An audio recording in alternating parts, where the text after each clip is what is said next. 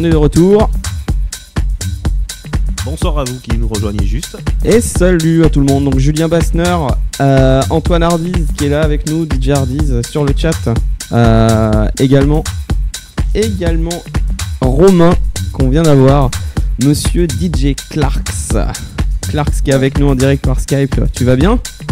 Ben, ça va très bien, ouais. Ah c'est cool, on arrive enfin à voir, on a eu un petit bug euh, de la machine. Ouais, ça a été la galère, j'ai vu, ouais. Et je suis là aussi, c'est bon Ah Julien, Oui, Julien, tu es là, t'inquiète pas. Non, non, mais, non, mais ce que je veux dire, c'est- mais oui, mais j'ai eu un problème de Skype moi aussi. Ah mais c'est ça, parce que ça a commencé par toi et, et puis après c'est moi qui, qui est parti. Je pense que Skype a pas tourné, là, ce- cette nuit il ne fonctionne pas. Bon, comment ça va les gars? Nickel. Bon, on est avec Finzi, vous êtes sur addictivemusic.com. C'est la soirée, c'est la grosse émission. On est là encore quelques quelques quelques Quelques- quelques quelques, quelques minutes, minutes. hein. Oui, oui, oui, on n'est pas couché pour l'instant. Vous êtes avec nous, vous êtes toujours connectés. Hardy, euh, bonsoir à toi. On a Hardis qui nous dit d'ailleurs, euh, ça fait du bien aux oreilles les copains. Ah, ça me fait plaisir. Ouais. Merci à toi. C'est- c'est- Mais Il- c'est surtout merci à Finzi. Non, bah, mer- merci à vous, euh, merci à tout le monde. Merci pour l'écoute, merci pour l'invitation. Il n'y Bah, a pas de souci. Non, ça fait plaisir. Antoine, il- Antoine Hardis devait venir, euh, devait venir ce soir, il n'a pas pu. Je pense qu'il y a une prochaine soirée, euh, il sera parmi nous. Ça pourrait être cool de, de l'accueillir aussi également. On a Michael Clark également qui nous dit sympa cette réunion. Ouais, ça fait un peu réunion des anciens combattants. C'est ça. bon, Romain, tu voulais, euh, tu, voulais, tu voulais nous dire quelque chose par rapport à ce dont on parlait tout à l'heure Ouais, non, par rapport au débat de, de ce fameux top 100 et de plein de choses, quoi. Ouais. Je pense que c'est un peu, c'est un peu, je pense que tout ça est pipé aussi un peu sur les, euh, Bien sûr, bien sûr, comme ça euh, l'a toujours ça. été en fait. Voilà quoi. tout ça, tout ça devient un peu mafieux avec euh, à, à la tête ce gros label de spinning et, euh, et en fait je pense qu'en fait ce label fait plutôt des produits marketing plus que des DJ. Euh, on devient, on, on arrive plus dans une, dans quelque chose qui est plus euh, de la publicité sur une personne que à proprement parler des euh, des, des producteurs euh, au premier abord quoi. En fait, je Tu pense sais à que- quoi, vous savez à quoi Ouais. ça me fait penser, moi hein? À l'époque du club Dorothée, quoi. AB Productions, quoi. Ouais, c'est exactement la même chose. c'est Ben, ils ça. font- En fait, voilà, on, Voilà. fait des produits. On fait même plus Dorothée, des, On fait du club Dorothée. On fait du, C'est ça. du, du préfabriqué, du produit euh, et euh, Et comment on ça a fait du métier, télé- de la télé-réalité, hein, du produit de télé-réalité. hein. Bien sûr. Non, mais c'est ça en fait, maintenant c'est plus euh, sur. euh, tu vends plus ton image que ton talent. ouais, Ah oui, Ah oui, de plus en plus. ouais. Bah, de toute façon, maintenant, ils mettent, euh, c'est des jeunes, ils sont frais, euh, ils ont une bonne gueule, ils picolent pas, euh, ils font pas Le seul- le DJ. ça. le seul, le ça, seul. DJ, le seul DJ moche qui tourne encore, c'est Bigali. hein. Oh, c'est pas gentil. Il est sympatoche comme tout. Non, mais je sais qu'il est sympa, mais le, le- la Bigali Mix par rapport au, par rapport au, par rapport au- au- aux, aux critères entre guillemets physiques aujourd'hui que qu'on te vend sur euh, que ça soit euh, les Attends, limites de Deadmau5, il est moche, ou les DJ. Et Deadmau5, il est moche. Ah non, oui, mais Deadmau5 il a son casque. Ah ouais, mais maintenant, il enlève aussi. Hein. Il, a- il, a- il Mais- le met, il enlève, il le met, il oui, enlève. oui, oui. Big Ali ne mixe pas, hein, c'est euh, c'est Cash qui, euh, qui Hardis mixe. nous dit qu'il crée des marques. C'est euh, c'est exactement ça. C'est purement marketing, Ouais. c'est qu'en fait, euh, ils les prennent jeunes pour euh, voir sur le long terme, ils vont se dire, ils vont se faire un paquet de blé pendant 10-20 ans, quoi. Ouais, c'est ça. Ouais, c'est un ça, produit en de consommation en fait. En même temps, maintenant, ça, tu, mets, euh, tu mets une chanson commerciale avec un clip avec des filles à poil dedans et ça marche. hein. Ouais. Ah bah ça, c'est pour le hip-hop R&B, ça. Ouais, non, mais Ouais. c'est ouais, ça a toujours été ça. Mais euh, mais c'est sûr que maintenant, oui, c'est c'est plus. euh, on oublie la qualité, quoi. On oublie le, le- le vrai boulot, quoi. Le, le- le vrai but, à savoir de, de faire de la bonne musique, de transporter les gens, de d'une culture musicale. euh, non, c'est maintenant c'est ça, c'est du préfabriqué, du non, c'est ça, produit. c'est ça qui euh, marche, alors ils suivent une trame. Pour et, du euh, commerce, tout ça, encore une fois, pour le pognon. Et c'est d'ailleurs, moi, est-ce que je peux poser une question à, à Romain? Parce que c'est il y a, il y a un truc qui y a un truc que j'aimerais bien savoir. Dis-moi. Euh, quand quand tu fais euh, quand quand as eu l'occasion de faire des, des gros festoches et tout ça, quand Ouais. tu quand tu passes ton son, tes prods, etc. Mhm. Comment comment ton comment le public qui vient voir et qui se retrouve entre guillemets soit parce qu'il te connaît, soit euh, par, par simple hasard, il se retrouve dans, dans, sur le stage où tu te produis au, au moment. Comment, la- la- comment elle- quelle est la réaction des gens et comment réagissent par rapport au style de musique que toi tu proposes qui est complètement en dehors du, du com, euh, du com euh, absolu, quoi, du commercial Ouais. Euh, Tu veux parler euh, des festoches à l'étranger ou en France? Les, les deux. Ben, En France, on fait plutôt des festivals qui sont assez éclectiques, donc tu peux avoir Garo Rock ou Ouais, des, festoches comme ça, où ça peut aller du rock à, à la musique À complètement underground, Ce qui est pas mal. drum, voilà. Et après, bon, ben, on a eu euh, il y a un an la chance d'aller jouer à l'Electric Daisy Carnival à, à Las Vegas, qui a été Ah un truc euh, pour nous. euh, Bah, Incroyable. J'étais à Vegas et, et quand tu arrives à, à l'aéroport, déjà, ils t'en mettent plein la gueule Ah, c'est un truc, c'est un truc de dingue. Déjà, c'est une autre planète de par les Américains, c'est soit ils font tout en gros, ouais. soit ils font rien. Ouais, ils font rien. Voilà. Donc, tu arrives dans un festival où il y a quand même 450 000 personnes en trois jours. Euh, tu, tu te payes des stages. Le, le main stage, tu dois mettre 150 000 personnes devant, je pense. Euh, tu, tu dois au Attends, moins ouf, avoir quand même. euh, 200 ou 300 kilos de lineré qui t'envoie un son, mais hyper fat dans la gueule. Donc euh, moi, je, moi je gerbais le DM avant d'arriver là-bas et encore plus la trappe, donc ce nouveau style qui est un peu tiré du hip-hop mais qui est un peu électronique. Et quand je l'ai écouté là-bas sur du gros son, bon, j'ai fait bon quand même, c'est vrai que ça boite quoi. Mais bon, enfin pour en revenir, donc euh, ouais, bah écoute, nous on est arrivé là-bas, personne nous connaissait. Euh, en fait, on est, on a gagné un concours, donc on était sur une scène découverte. Et en fait, euh, ce qui s'est passé, c'est qu'on a joué à, un- à une heure un peu bâtarde. Bâtarde, ouais. Ouais, voilà, parce qu'en fait, on nous, on s'est dit, euh, on avait fait la demande, vu qu'on était sortis les gagnants du concours, on s'était dit, bon, ben pour nous, petits Français que nous sommes, et avec notre culture française, on s'est dit, ce serait bien de jouer vers 4 heures du matin. Ça doit être le pic. Mais pas du tout, en fait. Les Américains, Là-bas, c'est trop, sortent, c'est trop tard, non C'est 4 plutôt- heures. ils, ils sortent hyper tôt. Ouais, c'est ça. Et en fait, Les ils clubs commencent finissent le à 4 heures, je festival, voilà, c'est ça. Et ils commencent. Bon, après, la- les scènes finissaient vers 6 heures, Mhm. mais ils commencent euh, à aller au festival vers 20 heures même. Et puis à 3 heures du matin, le festival se vide, mais grave quoi. Ouais, donc Alors, faut jouer à minuit, moi, quoi. Je suis allé, je suis allé, au, je suis allé au- à l'Ultra cette année et l'Ultra, euh, euh, l'Ultra, c'est la- la- le truc, c'est de midi à minuit. Hein. Euh, t'es- Tu sais pas plus tard. hein. Oui, oui, ouais, ouais, mais c'est ça, c'est hyper tôt.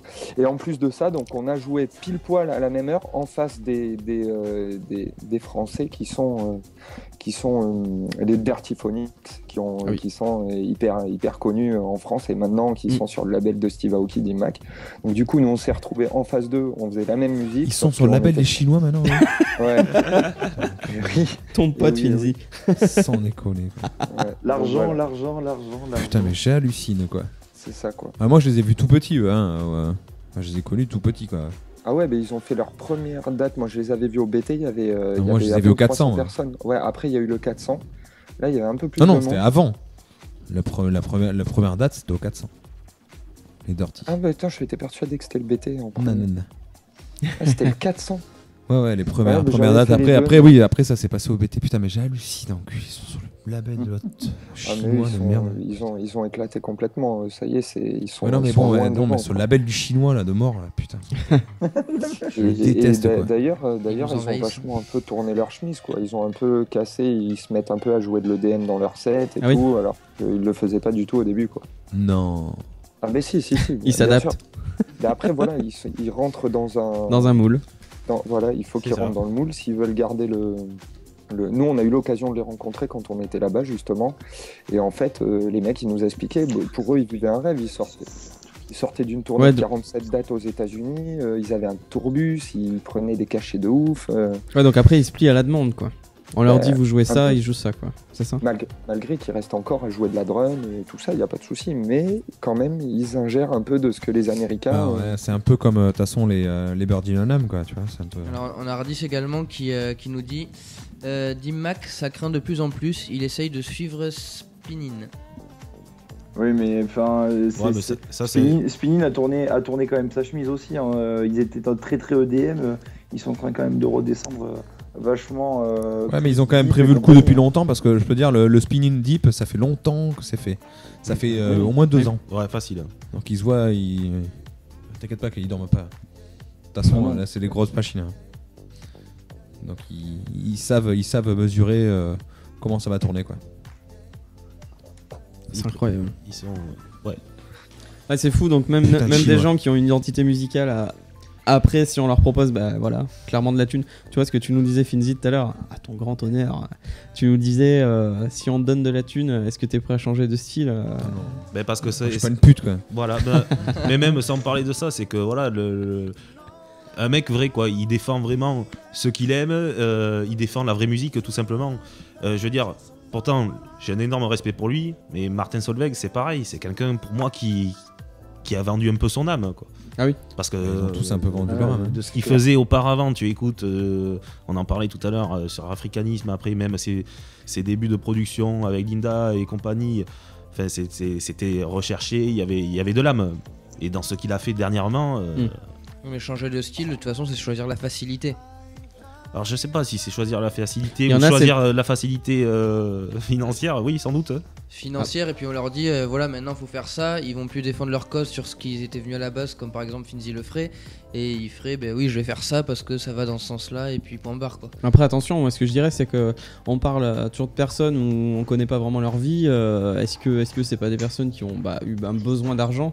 Et oui, ok, c'est se vendre un petit peu, mais mais Non mais il y a- Ouais, il y, a ouais, des- y a vrais artistes qui, qui s'en foutent quoi de ça.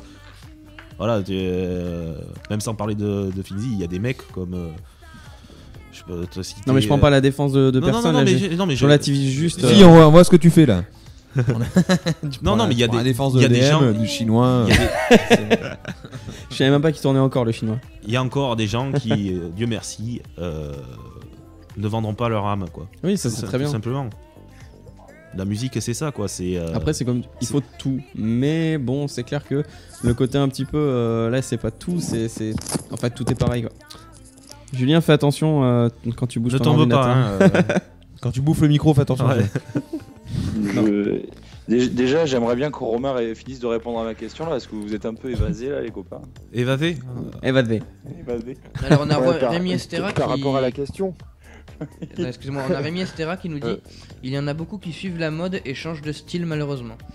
Oui, voilà, c'est ça. C'est Mm. un effet de mode, c'est un effet de média. De toute façon, Ils suivent le- c'est un effet Ouais. de médiatisation de merde qui décide. euh, enfin, voilà, Ouais. t'as les mecs au-dessus de la son qui décident. Peut-être Ça, ça va être la nouvelle tendance. mais là, tu vois, là, on est même plus dans un problème euh, français quoi. On est vraiment dans un problème global. Ça reste qu'on a quand même un gros problème en France quand même.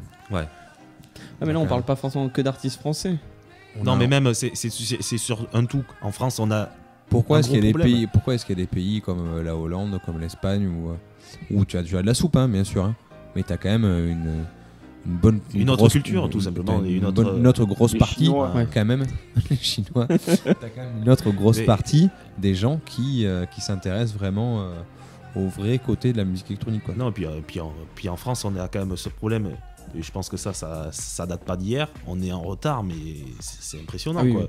Ça a Je, prends ça. un, un exemple tout con. Quand j'avais, euh, euh, j'étais allé à Ibiza euh, en 2002, j'entends euh, pour la première fois le Taj Mahal de Bob Sinclair sur une soirée Pacha. Bref, en trois ans après, j'entends sur Fun Radio le mec découverte Fun Radio euh, et j'entends le morceau. Mais Oh, le mais tu sais- je- Tu sais, quand t'écoutes les radios, un artiste sort Non, un album, mais- il mais va avoir trois tubes dedans. mais c'est pareil Il y en a un qui sort là- une année, le deuxième sort la deuxième année, et ils vont dire c'est la nouveauté, sauf qu'il était sur l'album Ouais, il y a trois ans. Mais hein. c'est pareil. Com- comment veux-tu que les euh, que ça se passe bien? On trompe les gens. C'est pareil. Là, je, re- je regardais l'autre tout, tout à l'heure vite fait euh, les les, euh, les beatboards là. Mais les- mais les- euh, Mais le gros problème, c'est que les gens je se vois- satisfont. je vois le, tru- le truc qui est enfin que je passe depuis le mois de sans, sans déconner depuis le mois d'avril. Fad, euh, The Avener. Ouais. Je le vois rentrer. Nouveauté. Mais, mais non, c'est pas nouveauté, c'est faux. C'est- c'est- on trompe les gens. Donc il y, a- y y quand même un, un gros souci sur ça aussi. Et là-dessus, on a tous un ami qui vient toujours nous voir en disant Oh, écoute ça, j'ai un nouveau son, machin. euh, et qui lui dit Non, mais ça fait deux ans qu'il est, ça, sorti ton son. ça. Ah, c'est vrai. Donc non, non, il y, a- il y a vraiment tout euh, un gros travail quoi, sur- de fond euh, à faire. Je vous rappelle, vous êtes sur Addictive Music. euh, on a en direct avec nous Bassner euh, et Clarks qui sont euh, sur Skype, par Skype, connectés avec nous. Vous pouvez les, les rejoindre, nous rejoindre et chatter avec nous euh, en live avec Finzi, Tom, Corentin sur addictivemusic.com. On continue. Et euh, Romain, c'était quoi en fait donc la, la suite en fait de, de la conversation euh, euh, qu'on avait C'est donc par ah oui, rapport au par festival et tout, comment- ouais, par rapport ouais, au voilà. festival et tout le comportement. Donc Ouais, ouais, comment ils ont pris notre musique? Eh ben plu- plutôt bien, c'est- plutôt bien passé parce qu'en plus, ce qu'il faut se dire, c'est que l'IDC, ça regroupe quand même 100 da- 110 nationalités différentes, ce qui est assez énorme, donc ça brasse à peu près des gens du monde entier. Et euh, ce qui est assez incroyable, c'est que euh, aux États-Unis, les gens ils viennent vraiment pour la musique et le festival, c'est-à-dire qu'ils vont pas venir juste pour un style, ils viennent écouter du son en général, quoi, en Mm. fait. C'est ça, donc ils sont vraiment à donf sur toutes les scènes, il y a une ambiance, euh, c'est assez incroyable, quoi. Là, le, même, le même esprit, le même esprit que le, le- le même esprit que l'ultra, parce que moi, pour, pour y- être, avoir été carrément dedans le, truc de l'ultra, avec euh, sept, sept stages différentes qui vont proposer une programmation euh, hyper éclectique, avec euh, éclectique dans la musique électronique, bien sûr. euh, avec du, du Paul Kalkbrenner sur une, sur un- une stage live avec du, euh, du Empire, euh, Empire of the Sun, du, euh, même des trucs drum and bass. Enfin, c'était quand même assez extraordinaire. Mais, et même une scène un peu comme je pense celle que tu as fait toi, une scène tremplin avec une scène 7-up où tu avais du DJ du petit mais qui était quand même assez gros puisque tu avais du plastic funk, des DJ comme ça qui venaient sur, sur, Ouais. sur ces. voilà. Donc, Et en fait, euh, ben, nous, la scène où on a joué, en fait, l'année juste avant, il y avait Quintino qui avait euh, fait la scène tremplin. Et donc, euh, bon, maintenant, on sait là où il est. Il est bien plus loin que, que la scène de tremplin, mais euh, il est passé par là, ouais. et, euh, mais bon, après, la machinerie, il fait de l'EDM, il fait un style qui est beaucoup plus grand public. actuel. Voilà, et puis qui est à la mode, donc euh, voilà, ça a fonctionné pour lui. Et puis euh, Insomniac, donc euh, qui avait la scène tremplin, qui est qui possède le Electric Daisy Carnival. Euh, on- ils ont des gros moyens. Donc si t'es américain, nous on était français, donc du coup pour euh, pour venir jouer sur d'autres festivals et tout, c'était un peu compliqué. compliqué. ouais. Alors, Voilà, une- donc- excusez-moi, on a une question de Hardis. Mm.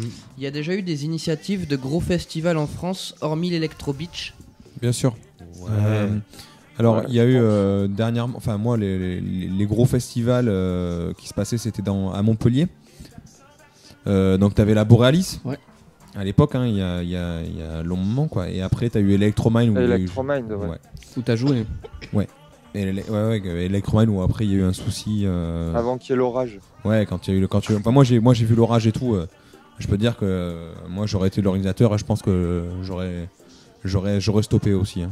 Et euh, est-ce est-ce qu'on Mais pourrait citer Ils ont ce problème régulièrement, je crois, si c'est pas si c'est ce festival, mais euh, En fait, Ah bon il- ah bah, la Borealis, il s'était passé la même chose en fait. Borealis, pareil, euh, grosse tempête, il s'était fait emporter le... bah, avant que ça commence, le festival, il s'était fait tout emporter hein, Oh, par le vent et tout. Et là, euh, lors de Electromine, en fait, bon, c'est des grosses pluies, machin, tout inondé. euh. Après, je, je sais pas si on peut le citer parce que c'était pas vraiment des festivals et tu as très bien connu. C'était les Magic Garden. C'est- Oui, c'était quand même un concept de soirée Oui, c'était musique euh, à électronique. l'Élysée Montmartre. euh, ouais. J'avais mixé Euh, aussi. Voilà pour les connaisseurs, Jérôme Pagman, Jack de Dan avait qui c'est d'autres. Dan Genassia qui était ouais, résident là-bas. ouais. Donc c'était quand même déjà précurseur. Mais après, en, en festival, les, les, les- enfin voilà, les, les, là où ça s'est, là passé, et là où, là où c'était le plus gros, c'était à Montpellier et euh, à l'espace Gramont. Euh, Il y avait aussi les soirées Dragon Ball d'ailleurs aussi à l'époque. Les soirées Dragon Ball. D'accord. Ouais, il y a eu Dragon Ball, Borealis et Electromine. Ok. C'est les- ça a été les plus gros festivals. Mais après, là, je sais qu'il y a le, le Weather Festival aussi qui a, qui a- qui a tout explosé cette année. À Paris. Ah oui, ouais, ouais, grave. Ouais, c'est là, ils ont tout éclaté. hein. C'est un truc de fou. Ah oui, c'est vrai, ouais, j'ai entendu parler. ouais. Ouais. Donc le truc là au bord de l'aéroport et tout, c'est un truc de fou ouais, ce qu'ils ont fait. Donc oui, il y, a- il y a la relève. Ça réagit, Corentin Euh, oui. Euh, non. Et j'ai oublié, il y a le festival, euh, il y a I Love Techno France maintenant aussi. hein. J'adore. I Love Techno France. Ouais, I Love Techno Ça France. se passe euh, où c'est à Montpellier là, c'est le, 12 le 13 décembre. D'accord, ok. Ah, c'est bientôt, très bientôt. Ouais, ouais. Bah non, c'est euh, passé. Non, non, c'est le 13 décembre. Ah, oh, Il a un problème avec les chiffres, lui, hein. Non, je suis perdu dans les, dans les mois. 12 au 14, ça fait Non, 4 mais c'est impressionnant. On est en mars, hein. Ouais, Non, donc, ça, mais- bon après par contre c'est pas, pour moi c'est pour moi c'est pas français quoi. C'est euh, c'est euh, I Love Techno c'est pas français quoi. C'est pas un festival français euh, à la base quoi. Hmm. Après, peut-être qu'on n'a pas forcément non plus les moyens. C'est pas non, c'est pas la même chose. Déjà, en fait, au niveau du sponsoring, en fait, en France, c'est Voilà. le gros problème. C'est qu'en fait, on n'a pas de, il y avait des marques d'alcool qui peuvent pas te sponsoriser ou quoi que ce soit, tu vois. c'est- ça, c'est interdit. Ouais. Euh, ni les clopes, ni quoi que ce soit. Euh, regarde, des fois- tu te rends compte que des festivals comme euh, I Love Techno en Belgique, le festival avant qu'il commence, en fait, il est déjà amorti. En fait, tout ce qui rentre, c'est dans la poche. Ouais. Voilà. Ah oui. grâce Ouais. au sponsor. Et alors, des festivals comme Monnaie Grosse, tu vas, tu vas à la, ben, tu vas au chapiteau San Miguel, tu vas euh, à la stage Bacardi, ben, ça c'est interdit en France, quoi. Tu vois, jamais tu verras ça, parce que Ouais, c'est l'alcool, machin, etc. Voilà. En France, c'est un problème de sponsoring. Forcément. Problème de loi. Aussi, ouais. De, de- Ouais, ouais, voilà, problème de c'est- loi, ouais, de- Clairement, oui. enfin, du coup, en fait, tu peux pas avoir de sponsoring d'alcool, sponsoring de, de clopes, euh, c'est interdit. Ah oui, c'est vrai, exact. Ouais, c'est plus. C'est dommage. Tout vient de là. Tom, Ouais, de quoi parle-t-on maintenant ben, euh, on va vite faire la programmation. Ouais Euh, par contre, je- je crois que j'ai pas les bons trucs. C'est-à-dire, tu t'es perdu. du Mika, c'est pas grave. Il y a les- à il y a- part pour Romain, mais. Il y a les dates Ouais, mais c'était de- du week-end dernier. Non, non, non, là ce que j'ai mis. Romain, pour le c'est quand ta prochain. soirée, toi Quelle soirée Il n'y a, pas- y a pas une soirée où tu joues là bientôt Au Respu euh, Non, pas au Respu pour, euh, le, en décembre, euh, non, parce que je m'en vais jouer en Autriche là. D'accord, ok. Excellent. Voilà. Mais euh, non, si après j'ai. euh, je, euh, si je vais Ah, je pensais en que tu mixais pour la monologue en fait. euh, normalement, je devais, mais je ne suis pas là justement. D'accord, ok. Voilà, donc ce sera sûrement pour la prochaine. euh, mais j'y suis à peu près deux fois par mois au Respublica, à peu Ouais, en moyenne quoi. D'accord. Voilà. Donc, ok. Bon, les gars. C'est bon. Romain, euh, on peut, on peut te, on peut te trouver où sur, euh, sur le net pour écouter tes sons, toi? Eh ben écoute, euh, maintenant moi mon projet euh, Clarks, j'ai mis un peu de côté, donc je fais plus de production sous ce nom-là. D'accord. Mais euh, si vous voulez écouter ce que je fais en drum avec mon groupe, ça s'appelle Funk Effect, F-U-N-K et plus loin Effect, comme ça se prononce. Quoi. D'accord. Donc voilà, il y a un SoundCloud, il y a un Facebook, voilà. Normalement demain, je, je vais essayer de m'occuper du, du replay pour avoir les, les- toutes les vidéos là de cette émission qu'on enregistre pour que pour qu'on puisse réécouter donc ces interviews et puis ton intervention. Donc après, n'hésite pas après à faire partager. euh, je, je, Il n'y a pas de problème, je renoterai le nom euh, Funk Effect.